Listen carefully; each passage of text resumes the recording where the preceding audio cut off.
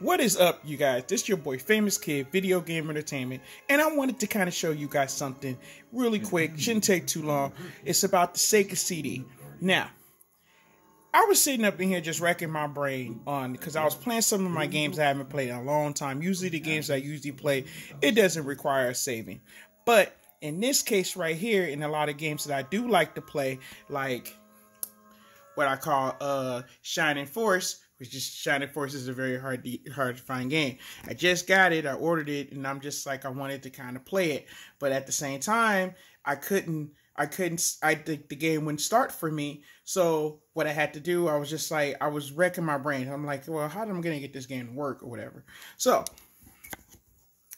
as I was just sitting up here just figuring out and I was just tampering around with some stuff. So I figured that if I had that problem, I figured that you guys would probably had that problem at the same time we had to figure this out. So I just want you guys, so you guys to get right back to gaming, right back to getting retro, and you guys to be able to play your your favorite games from back in the day. So so like games like the games like you know like you know you got Shining Force or or RPG games that you just have hard times that you gotta you gotta be able to say like Popful Mail. It's it's those those games are definitely you have to you have to you have to save and you know to get back to hop back in the game after a while or to just you know saying so uh, so what I so I learned about something.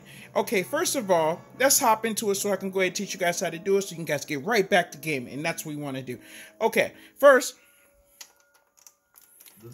turn off your system. Okay, so turn off your system. I'm gonna go ahead and um grab my trusty controller real quick. That way we can that way I can figure this out. I'm gonna try to do this. I'm gonna try to do this all at the same time. At the same time, um, uh, uh, holding the camera. Okay. Okay, you're gonna turn on you're gonna turn on your screen. Yeah. As soon as you get the thing, push A.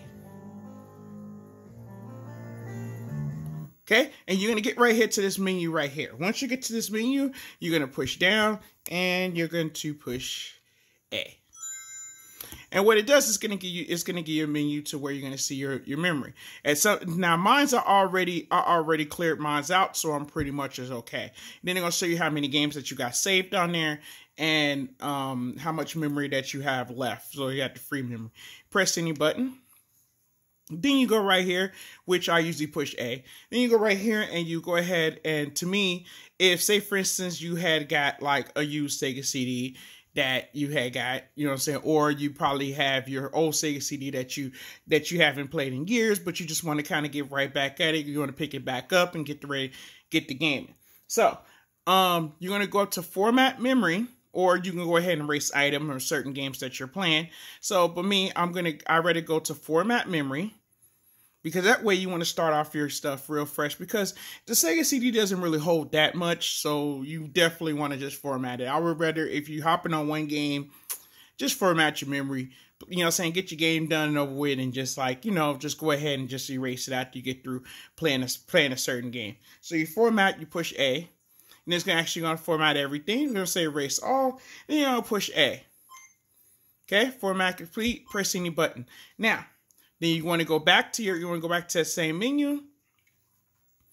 And you're good to go. Then you're going to, you know, saying at this point in time, you're going to go back to your CD-ROM because it's basically a game that you're playing and you're good to go. You're back in the game you know, certain games, if your memory, if your memory is like full, it will not let you even go forward to even playing the game. See what I'm saying? Sorry for the background light because I have a background light in my uh in my dining room, so so that's why you see a little bit of light up on the screen. But yeah, some of these games that you actually have to, it actually requires you to say before the game, the game won't even start until that you actually free up your memory. So you're back in the game and you're ready to go. All right, you guys. Just wanted to get a quick video for you guys. Hope you guys like it. Please subscribe. Please like and subscribe to the channel. There's also more great videos up on there.